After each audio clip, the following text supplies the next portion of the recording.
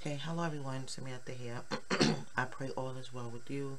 In this video, I'm going to share day four of Reflections the Woman God Sees, and this is a devotional prayer journal. So, let's see. Okay, one minute. Okay. Alright.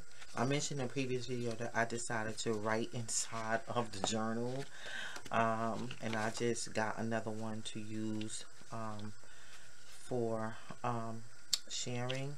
So when I want to come I'll probably resume um, using a blank one. Um, but for now my writing is in it. And I said if it's anything that is too if it's private and um, I can't share it or it's embarrassing I, I won't share I'll just cover up my pages this with some post-its. But in the meantime, this is okay. All right, so your mirror reveals, let me move over here. Okay, my hand was blocking that light.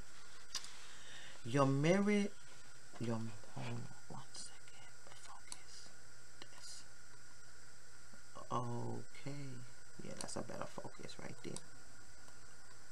Ooh, here we go. Okay.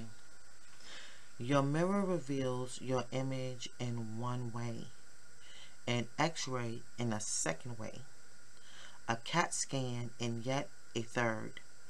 Only God sees and knows everything about you.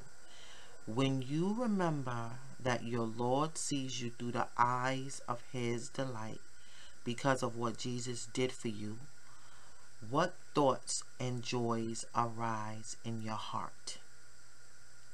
Here is the scripture Psalm 139 2 through 4. Thou knowest my down sitting and mine uprising. Thou understandest my thought afar off. Thou compassest my path and my lying down, and art acquainted with all my ways. For there is not a word in my tongue. But lo, O Lord, thou knowest it all together. Um, and then in the mirror, the person in the mirror, reflection. Someone has said a friend is someone who knows all about you and loves you anyway. What a friend you have in Jesus. So that's it for this devotional. I want to say thanks for listening, for watching it. God bless you, and remember, Jesus loves you. Bye-bye.